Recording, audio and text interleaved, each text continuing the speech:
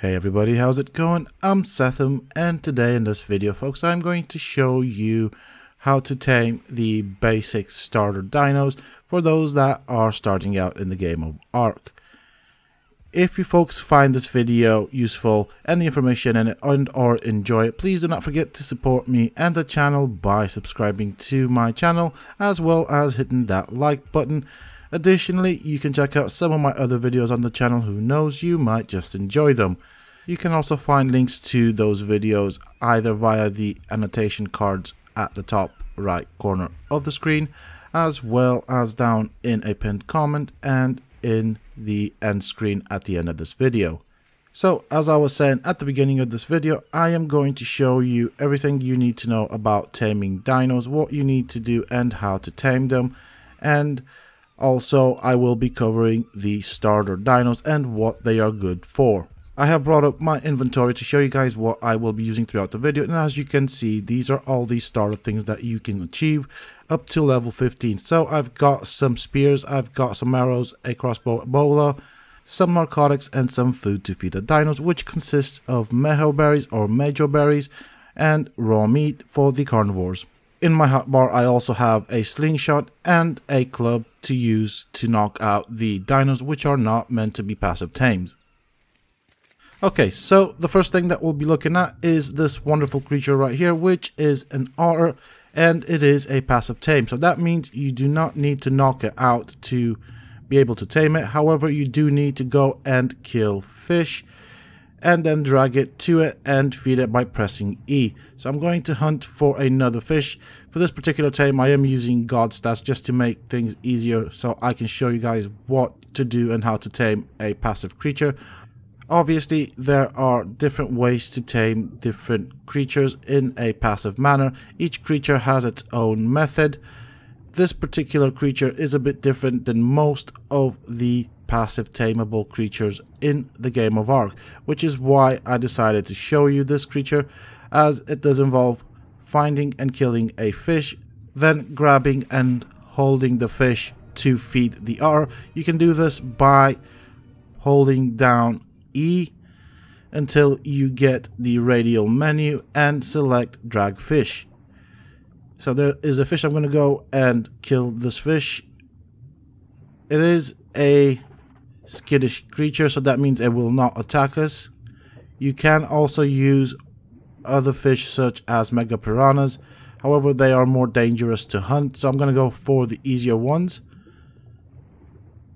So I have trapped the fish. I am going to kill it as you can see, the game automatically put the fish in my hands. So now I'm going to go and find our otter friend and see... Okay, so let's see where he's gone to. He's not on the land. I'm going to be wary of that dillo because I will show you how to tame it as well after I have finished with the otter. Okay, so it is not on land. That means it might be in the water and it is actually easier to tame in water than on land because they move much more on land than they do on water. So I am going to get close to the otter once I have the prompt that says feed the otter. I will then press E to feed it the fish. There we go. As you can see, there is a taming bar, so we need another fish. I have fed it a fish before I started recording so it did have some taming in the taming bar and if you will be taming otters underwater like I am you do need to bear in mind how much oxygen you have as well as how much stamina you have Obviously, if you do run out of stamina, that means you will drown and die. And if you are far from a spawn point, you might lose your tame and obviously all the stuff that you have with you. So I'm going to go and give it this last fish. That should be enough for this little fella. Once I catch up with him. Now as you can see, he doesn't move around that much in water. He moves a lot more on the ground, which makes the taming process a lot more complicated on ground from what I have experienced. There we go. We have another. We have this message screen where we can give it a name. I'm not going to do that I'm just going to pick it up. You can pick it up by pressing E when you're close to it and as it is a shoulder mount it will sit around your neck and it will act as a form of protection from the cold. So it will give you some insulation. Okay so the next thing we're to tame is this wonderful creature right here. It is a dillo. Okay. When it brings up its frill like that you will want to move to the side. Otherwise you will be blinded like I have. Also you will be slowed down. You will need a bola to immobilize it which is what I do recommend and a slingshot to hit it from the distance. So I just moved to the side once it brought its frill up and as you saw it missed its mark. So I'm just going to keep aiming for its head until it is knocked down. It is now knocked down so I'm going to access its inventory by pressing E and I will put in some raw meat. As this is a low level I will not need any narcotics to put in to keep it knocked out. However on higher level creatures or higher end creatures you will need narcotics to keep it knocked out. It will tame pretty fast and this is one of the starter dinos as is the other. As you can see it is quite easy to tame, it doesn't need a lot. In the meantime I am going to gather some more stones whilst it is taming. I am going to keep an eye on it. I am not going to wander too far because I want to protect it in case it gets attacked by other creatures.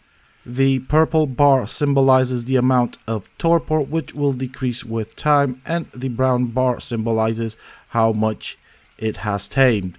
Once it reaches 100% the creature will have been tamed and it is yours to keep and do what you want with it. When starting out in the game you can use this to create a small army of dillos which will help you hunt and gather meat as well as hide. I have also got some Mejo berries which I'm going to put in my zero slot. This is what is the most common method of passive taming for the creatures. So they will require a specific food item which you will put in your zero slot and then walk up to it and press E to feed it. I will show you this later on in the video. At the moment I am going to keep a watchful eye over my Dillo and as I am starting out as you will as well. I am not going to be bothered about the levels of the dinos as these are starter dinos and later on I will put them into an egg farm which I will explain what the purposes are and I will show you how to make kibbles out of eggs in another video. As the Dillo doesn't take a long time to tame I am not going to do any cuts so you guys can see how much you should wait for it to tame. With other creatures and bigger creatures you will need to wait a longer time and there are various calculators out on the internet that you can use to calculate the amount of food you'll need as well as narcotics to keep them knocked out as well as what sort of food they prefer. Each creature in the game does have its own preferences. You can use meat or berries for the most of them, however it will lengthen the amount of time that it will take to tame that specific creature. The higher the level the creature is, the more time it will take to tame. Also, by using kibbles, you will not just only shorten the time, but you will get a better taming effectiveness, which means you will get more levels. And with each level that the creature gains, it will get a random point attributed to one of its stats. So that means that creature will be better and more powerful with a higher taming effectiveness.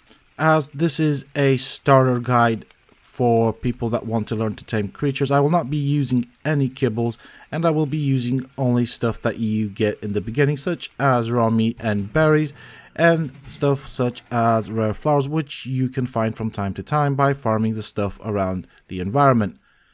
Okay, so with that Dillo tamed, I am going to go and find another creature. As you can see, it is following me. It's an automatic thing that happens once a creature has tamed. Okay, so the next creature that we will be taming is a Trike. Because this is a passive creature and becomes aggressive when you start hitting it, you will want to find a safe place to tame it from. In this case, I'm using a slingshot. I have managed to get myself on a rock and I am shooting rocks at its body. Very important do not hit its head because it will take reduced damage and therefore reduce torpor. So that means it'll take you a lot longer to tame it or will knock it out for the process of taming it. You can do this by pressing and holding down the T button on the keyboard and selecting the passive option out of the radial menu. So this will make your tame be passive, so that means it will not attack other creatures even if it is being attacked, which is a benefit if you are going to try and knock out or attack a passive creature or a creature that is naturally passive and then becomes aggressive once attacked. That means the creature that I want to attack or tame will focus on me and not on my tame. Also, it is important to know that if you do attack a creature that is close or in the vicinity of another creature of the exact same family, so for example, I attacked the trike and it was close to another trike, both of those creatures will attack even if they were initially passive. So I'm going to go and check my trike down there, you will see that it has a purple bar which symbolizes the amount of torpor it has. That will decrease with time and when it reaches zero it will wake up. As the trike takes a long time to wake up, I am not going to bother with putting food in its inventory just yet. I am going to wait for its hunger to go down a bit and the hungrier it is, the quicker it will eat the berries and will need to feed it berries as it is a herbivore. I am going to try and aggravate this trike over there. Now, I will want to try and tame it if I can, or if not, try and kite it into a Sarco that is wandering the beach around here which you will probably see in a bit. There is the Sarco, that is a giant alligator basically, and it is aggressive. If I can tame two trikes, then that is good. If it runs into the Sarco, then hopefully it will kite it away from my tame. That is a thing that is currently threatening my tame. Hopefully it does not make its way here. Also, you will want to know that if you have aggro the creature, just wait for a while, do not attack it anymore, and find a safe place to wait it out as it will lose interest if it can't get to you. I hope that this trike is now stuck, so I'm going to try and hit it a couple of more times.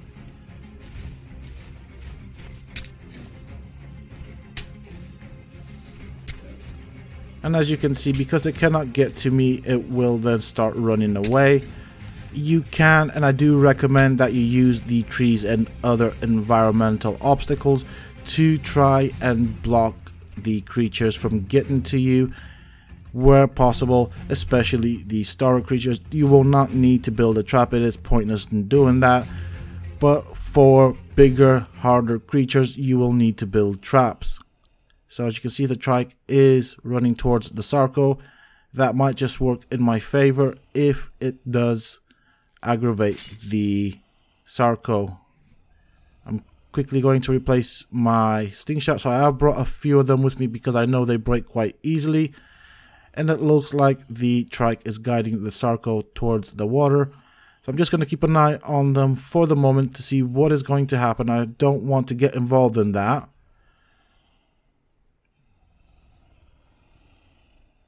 It looks like the trike is losing. I'm going to try and help it out if I can from here. Well, it looks like the Sarco won. It is closer to the water, so I do hope it goes into the water because it is a fast swimmer and most likely will end up moving away from my tame, which is beneficial for me. So I'm going to check out my tame. He's doing alright. He's a bit hungry, so we'll give him some berries. I've put in some narco berries. There's no point in using narcotics because it is hard to craft and this is a starter dino. I will show you how to use the narcotics to get its torpor back up. I'm just going to check quickly to see what the Sarco is up to. I can't see it anymore. So let's sort out its torpor, which is decreasing, and we can do that by putting in narcotics or narco berries and hovering the mouse over it when pressing E. This will force feed the trike the narcotics or narco berries which will in turn increase its torpor. As you can see it is rising with the amount of narco berries that I have force fed it. There is no point in trying to force feed a taming creature the food. It will not tame any faster so don't bother with that. It will eat when it gets hungry. So I'm going to try and make my way back up here. And as I can see from the shadows, there is a Pelagornis. So I'm going to try and sort this guy out. Oh, this is going to be annoying. Otherwise, he will take all of my stuff off of me and destroy it. So I'm going to try and kill this guy. This will be a good source of meat as well as hide.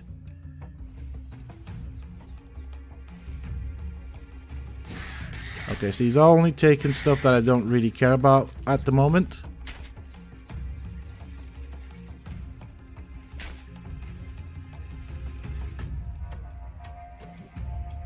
There you go. Done and done. So I'm going to harvest them. I'm going to take out my hatchet.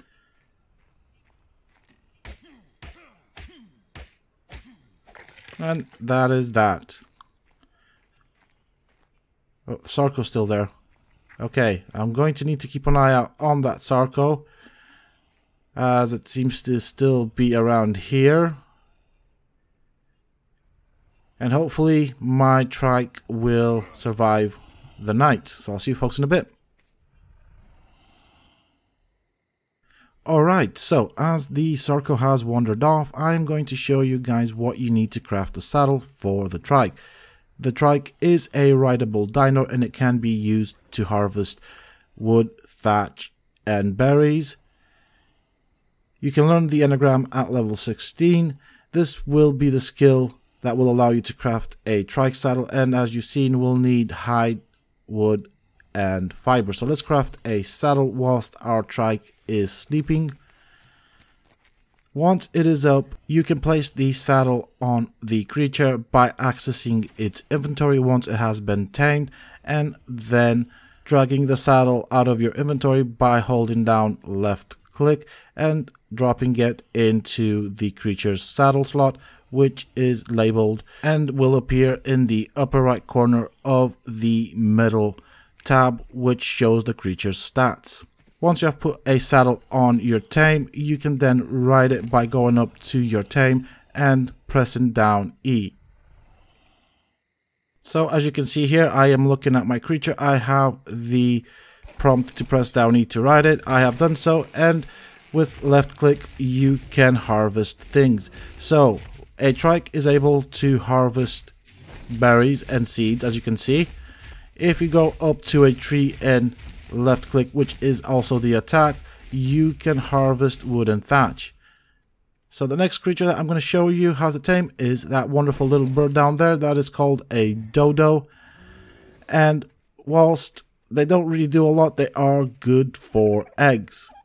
So I want one of these things. You can use a bola if it is in a dangerous area, but as the Sarco has left the beach, I'm going to use a club and just knock it over the head until it falls to the ground, like so. Once it is down, I am going to put some more major berries in it. Because it is a small level, it will not require any narcotic. However, higher level dodos might require one or two narco berries. So I'm just going to mount my trike like I've told you before by pressing down E, harvest some wood and guard my dodo. At this time I also have my Dillo with me so I am feeling fairly confident this is a decent level trike.